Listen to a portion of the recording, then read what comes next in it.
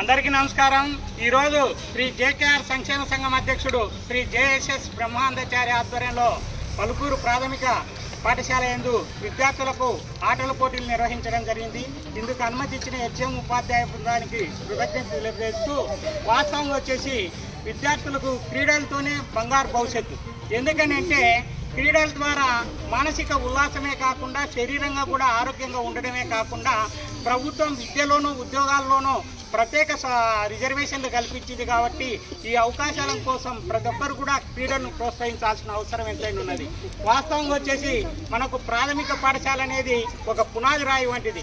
విద్యకు పునాది పునాది ఎట్లనో విద్యార్థులకు చిన్నతనంలో చదువు కానీ క్రీడలు కానీ ఎంతో అవసరం.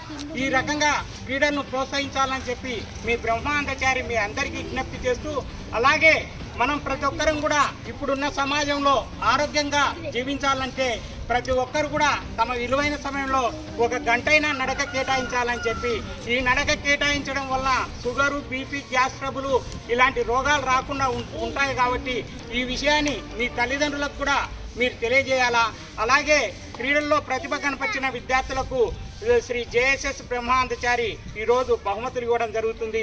ఇందుకు అనుమతి ఇచ్చిన హెచ్ఎం ఉపాధ్యాయ బృందానికి ఇక్కడికి వచ్చిన వారికి మీ అందరికీ పేరు పేరున కృతజ్ఞత తెలియజేస్తున్నాం.